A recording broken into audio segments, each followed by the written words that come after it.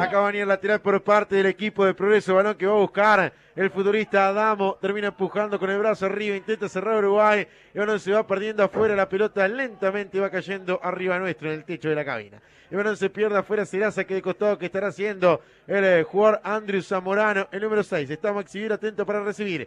Va a venir el lateral por parte de Andrew, que como es habitual puede buscar a alguno de los hombres que están en el área. No me canso de decir, en progreso, ojo con Adamo, que puede ser clave en el cierre. En Uruguay, Montevideo de Mosquera. Balón que intenta arrimarse a la puerta del área, el toque hacia el medio. Va para Adamo, le prendió el arco.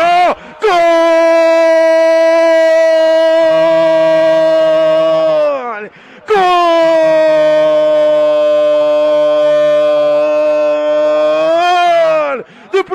Progreso, un golazo espectacular, maravilloso. De Valentina Adamo que encontró la pelota en el área para clavarla fuerte. En un lugar donde Carlitos Techera no iba a alcanzarla jamás. Para que el gaucho a toda rebeldía quiera sumar sus primeros tres puntos en el competencia. A un delantero no se le puede dejar un espacio. Como le dejaron justamente a Adamo para gritar bien fuerte y decir Progreso festeje, progreso festeje. En este partido está ganando el 1-0 sobre el equipo de Uruguay Montevideo.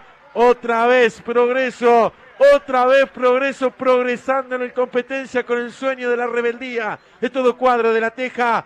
Valentina, damos el gol. Bueno, qué golazo, qué golazo de Valentina Damo. La jugada nace de un lateral, lo saca Andrew Zamorano, el que va a buscar la pelota y la logra pellizcar es Agustín Moreira, y el que aparece sobre el punto penal y se llena el botín derecho y saca tremendo latigazo es Valentina Damo, que vence las manos de Techera, que vuela desesperado a tapar una pelota que ya tenía olor, que ya tenía destino de gol. Apareció Valentina Damo como el salvador de progreso y progreso con uno menos le gana 1-0 Uruguay Montevideo. Sport 890 más. Mucho más.